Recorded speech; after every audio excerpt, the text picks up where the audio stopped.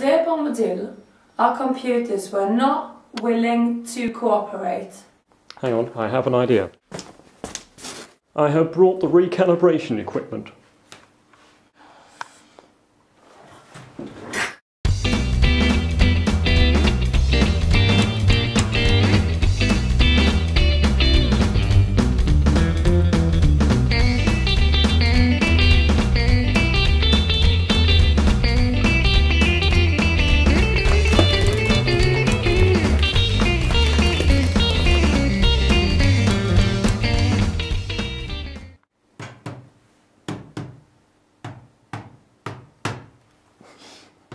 Ouch.